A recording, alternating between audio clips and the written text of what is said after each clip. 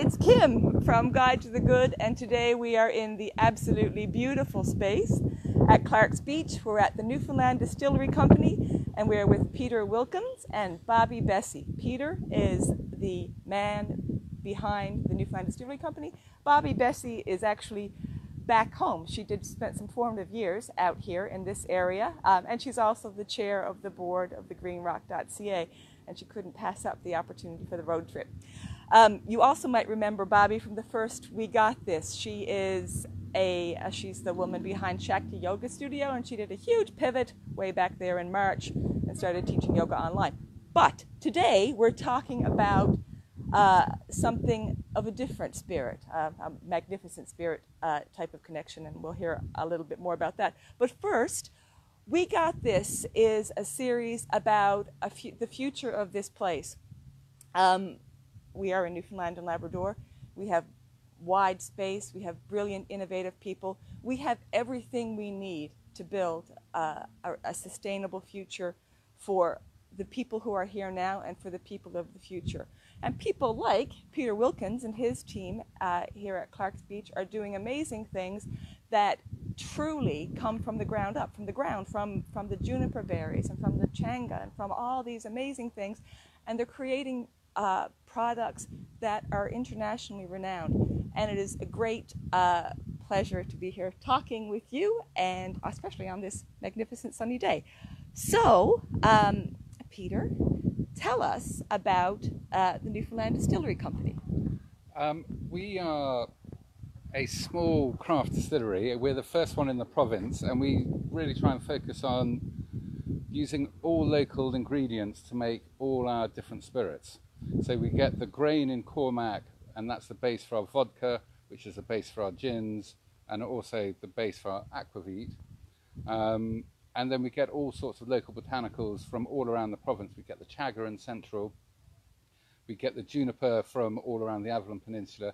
We get bake apples from um, Bonavista and elsewhere. And um, I think we cover most of the most of Newfoundland. Yeah, that is amazing and your products are absolutely incredible. I love the seaweed gin uh, well, the most, um, but the, the other products are winning awards from all over the place. Tell us a little bit about that. Well, our latest award, so we managed to get a gold medal and 94 points for our seaweed gin at the New York International Spirit Competition, and our cloudberry gin, which is what we call bake apple gin, um, got 92 points and a silver medal. So I, obviously 93 was the cutoff. Right. and why they couldn't have given us one more point and given us a gold for that one, I don't know. But really, they were absolutely thrilled. It's amazing that we sort of won awards, and we won them at the San Francisco World Spirit Competition, which is the biggest one, where we actually got a double gold, wow. which means all the judges in blind tasting awarded a gold medal.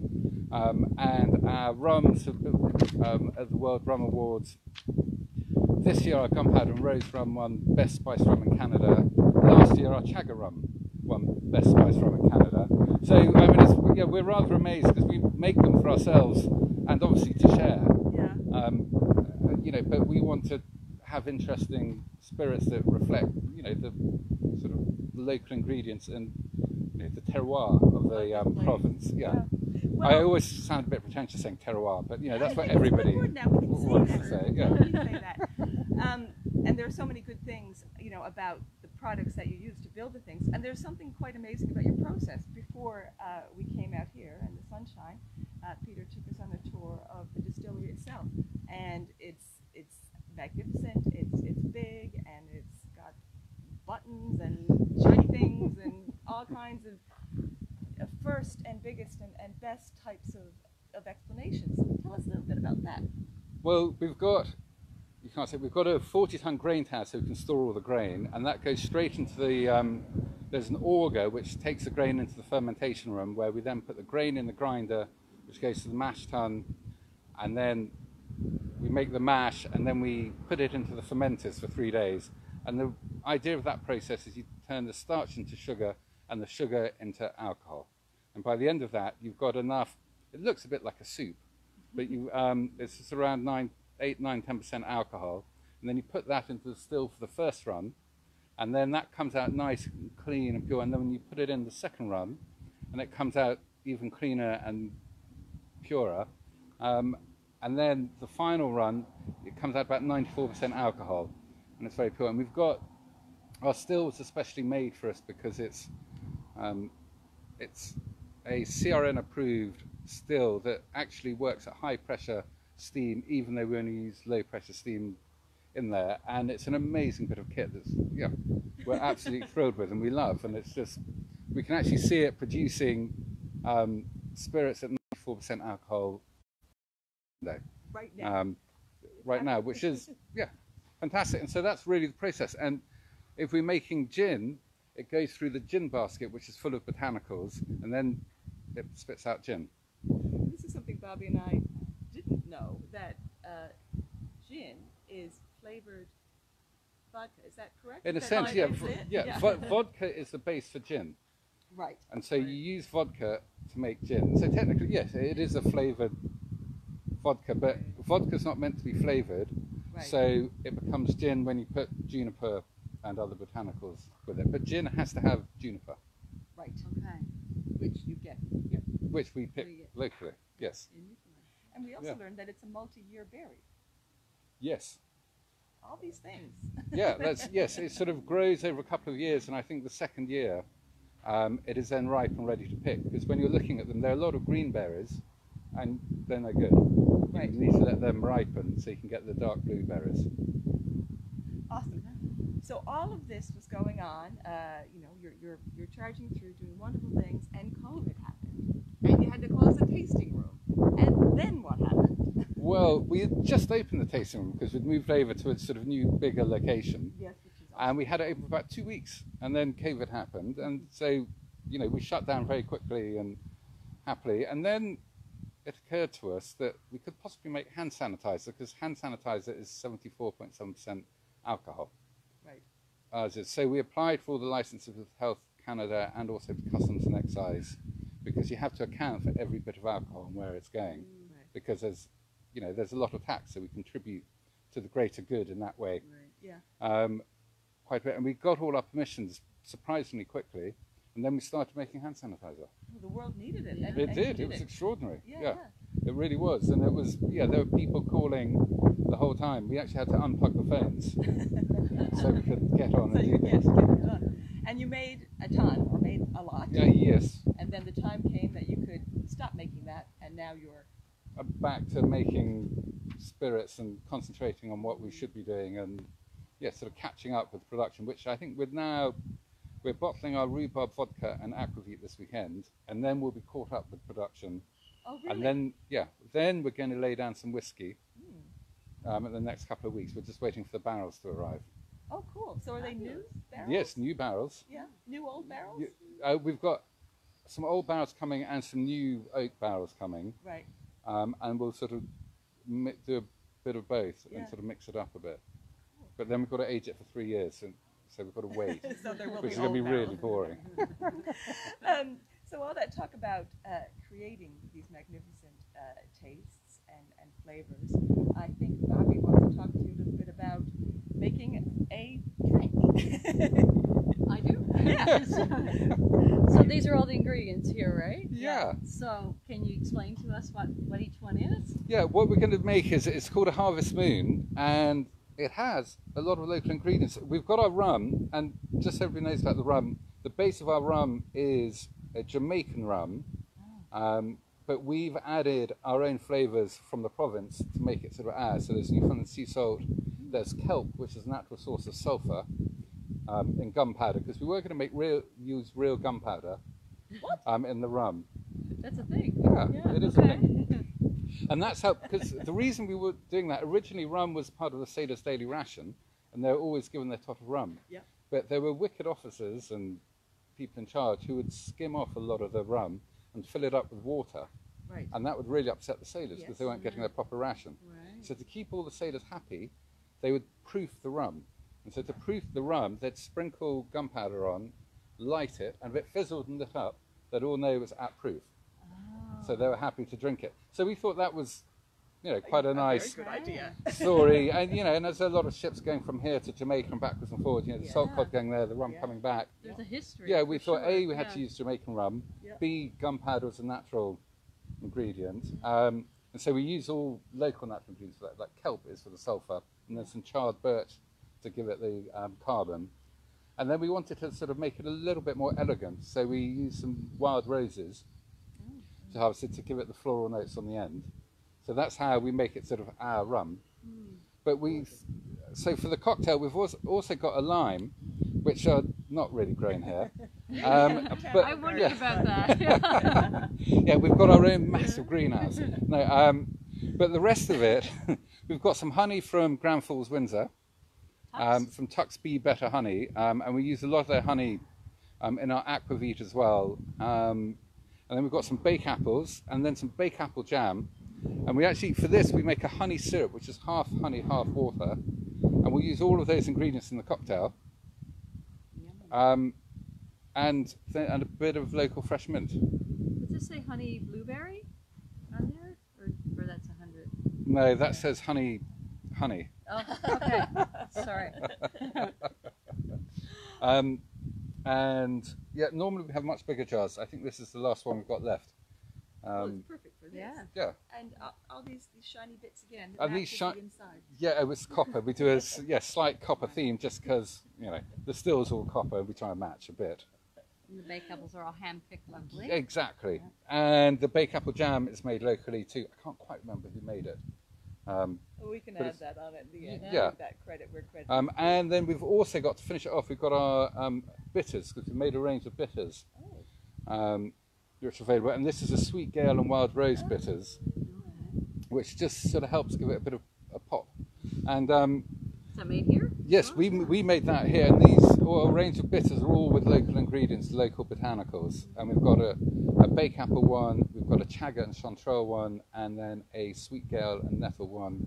Oh, that's this one. And a seaweed and nettle one too. Um, Fabulous. Before you get into um, making that drink, I, we can get the the bottles at the uh, NLC. What about the bitters? Are they, they are at the NLC as well. as Okay. Everything's at the NLC and at our shop in Clarke's Beach Right. too. And you and you also sell them. Yeah, so we're here. allowed to Yeah. sell them in our shop, yeah. And you can taste the spirits in the tasting room and try which ones you like, and then you can go all the way to the shop and buy them in the shop Right. if, if you like them. But I did you know, that last yeah. week actually with the bake apple jam. oh, excellent! Yeah. well, that's wonderful. The plan worked. And so just one last thing before we get to actually making the drink. The, uh, the, the distillery actual is right there to, to this side. In front of us there is um, Offices offices and packing room and kitchen. right, and then to the left, which has a magnificent view of what we can see here, uh, is the tasting room with a full bar and, and all kinds of things. And people, of course, could come up here. as If they well. can, yes. Although the tasting room has the same view. It's just as lovely. Yeah. And it's warmer in the winter. Yeah. all right, I think I think we're ready. Shall I try and make a cocktail? Yeah, make us a cocktail. Okay, now I've got, I haven't made this a lot, so I'm going to put the microphone down, Yep. and I'm, whoops, I'm going to put some ice in.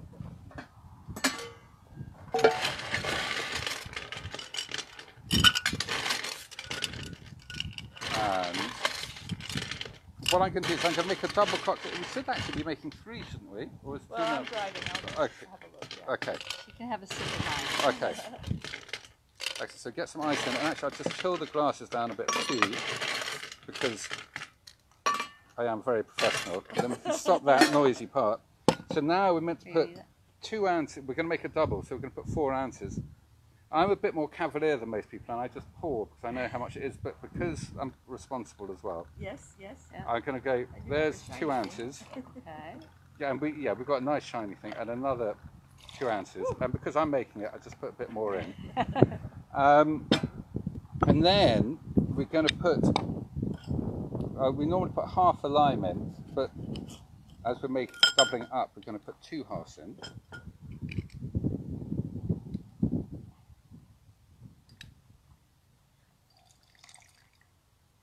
I notice you're selling all of the gear for making this in, the your shop. shop, as well, well. yeah, exactly. Because you know, some people get quite excited and want to go home and Do make it it, at all. home. Yeah.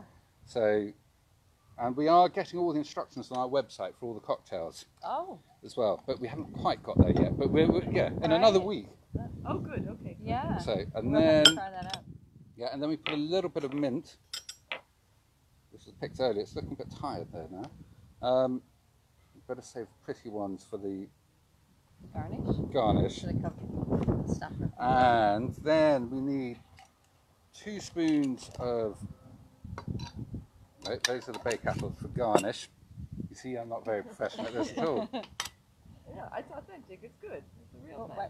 the Yeah, the, bake paper and blow away. so oh, God, that looks quite nice Oh, actually. I nearly so want a bit of taste. I'll put a bit more of that in tea because Yeah. it looks really nice. My mom always has bake apples with uh, sugar sprinkled on top. Oh, really? Yeah. Oh, yeah, that's it. And then we've got our Honey syrup. honey syrup, and we're putting half an ounce of that in. So there's one half and two halves. Now I think we shake it all about. Have I put everything I'm meant to? Yeah, I think so. It does. Yeah, yeah. Shaking that syrup. Yeah, well, exactly. Martinis have got to be stirred because you'll bruise that alcohol. Um, now, they all make it look effortless when they do this.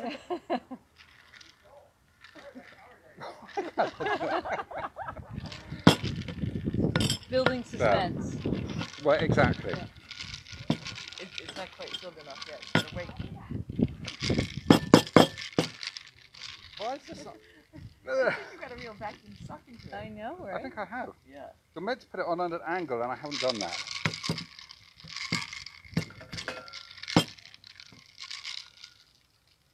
Oh, I Uh, thought- looks like there it's we go. Coming. There it is. It is the vacuum suck though. Yeah. Gosh, this hasn't happened to me before. At least if this happens at home, we'll know Yeah, you know it's it's, not- a thing, right? It's not us. Even the professionals can get it stuck. Yeah, well, exactly. Yeah. If we, uh, bend it like-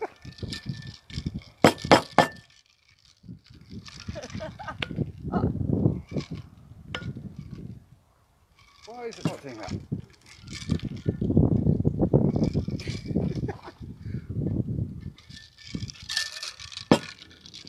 That's why I do it upside down. It'll make a big mess. Well, it should.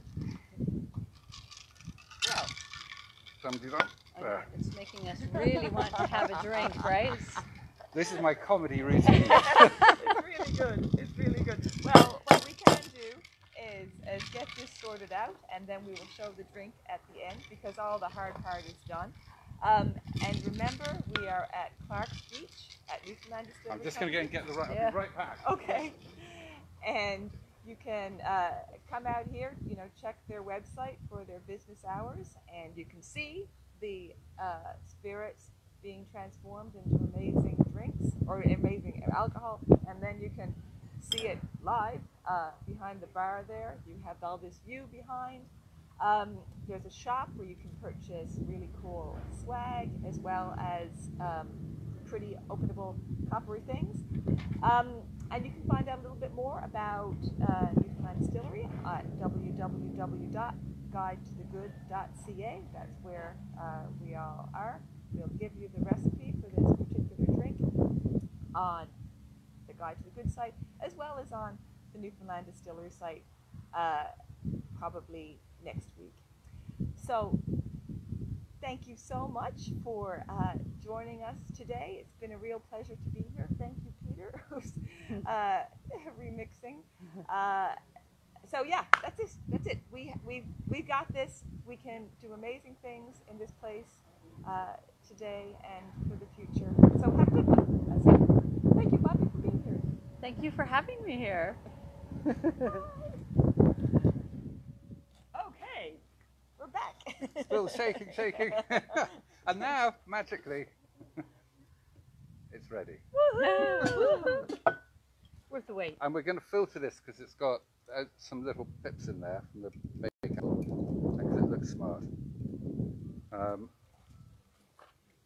and have I got this the right amount? There. Gosh, Oh, it looks so good. nearly. Looks like I know what I'm doing. Um, and then we'll have a little dash of bitters in each one. Like one, two, three, four. One, two, three, four. And then a little bit of mint. And you've always got to clap the mint because you release its natural oils. Oh, Oh, cool. it's new to me. Not not grind it up. No, just you give it a little clap and it sort of, I guess it shocks it into action. So many great. It's like tips wi- maybe it's the the Air Force. Yeah, I think it is. Also, it probably makes your hands um, good. So there, you, you have that one. Well, I'm gonna have a sip. Yeah. Yeah, you have a sip, and then you can have a sip of that one. you don't Oh, get well, one you at won't have it. You no, won't but I, one. you know, I, know the I can case. always. Wouldn't be my first time. Cheers. Cheers. But- cheers. Cheers. Mm, yum. Oh my oh god. my god, it's, so good. We didn't cheers properly Oh, we though. did like not. we didn't. No, I think it's Cheers. Yeah, we were worried about spilling it. There, Yeah, I know, uh, right? Don't want to spill it. Oh yeah. So staycation destination here. right? Yes, absolutely. Yeah. Absolutely. Yeah. Did we get a, a bake apple thing floating in the chocolate? Oh gosh, I forgot. I knew there was something I was missing. I'm glad somebody. There was a test. I mean, well well done. well done. It took a while. I knew there was Good supposed job. to be floating bake apples. Oh, that Oh, makes they all the sink, difference. See, it's just a little shading at the Yeah, bottom. exactly. And you know you're there, and you see that's, that's your little prize when you drink it all. So So. another part of this vacation destination. So the um, the tasting room is not only tasting these lovely things, you've also uh, got a menu. Yes, we've got yeah, we have um, lovely local sourdough bread made by Jamie and Bay Roberts, and then we have um, Five Brothers cheese from the Goulds and um, meats from Chinched in St John's, Awesome. and we also have Steve Curtis chutneys. Grill. So it's Wow. like a sort of picnicky food, and we have a bit of lovely smoked salmon as well Yeah. from Witless Bay. Gorgeous. Um, yes. Yeah. Yeah. And it's just to sort of keep the wolf from the door and keep everybody going. So we're not a kitchen, Yeah. but we have a bit of food. and People get really peckish. Yeah. Right. Well, it's a nice uh, So- compliment too. Yeah, obviously. well, exactly. Because Yeah. sometimes you have two or three drinks, you sometimes You need something wanna to shake it up a bit. Have a nibble, yeah, yeah. exactly. It enhances Absolutely. the whole experience. This has been wonderful. Thank you Well, so thank you very much. for having us. Thank That's you. a pleasure. Uh, and yeah, so I I said so. Check us out www.guidetothegood.ca. The Newfoundland Distillery profile will carry also uh, this interview, and so you can watch making um, the the the drink again.